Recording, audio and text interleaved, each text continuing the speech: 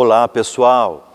Então, neste final de semana, nesse domingo, dia 13, a gente realiza a nossa coleta paroquial de alimentos, produtos de limpeza, de higiene pessoal e também de outras doações como panetones, guaraná, eh, brinquedos, roupas, para a gente preparar então as cestas de Natal que serão enviadas para as famílias que estão ansiosamente esperando a nossa ajuda.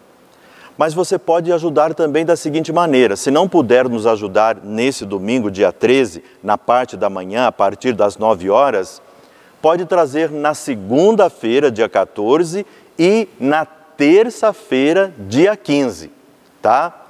Porque depois a gente vai ter que montar toda uma logística para a gente fazer chegar a cesta bem preparada na casa das famílias. Contamos com todos vocês. Até lá! Sobre a nossa novena de Natal.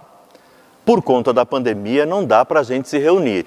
Então, nós decidimos fazer da seguinte maneira: a novena de Natal da nossa paróquia Espírito Santo vai acontecer de 14 a 22 de dezembro. Como? Através das missas, minha gente. Então, todos os dias à noite você sintoniza e reza conosco. A missa é a novena de Natal.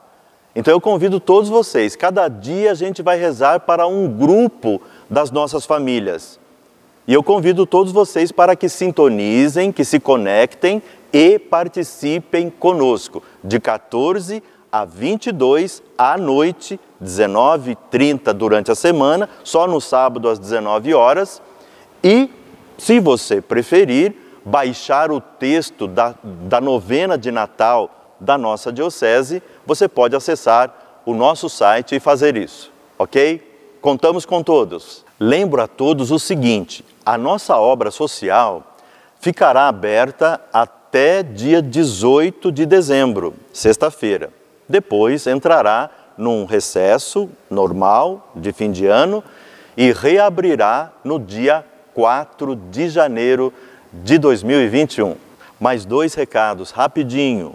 Na sexta-feira, às 16h30, fiquem conectados com a gente, porque nós vamos benzer a nova fachada do nosso santuário de adoração.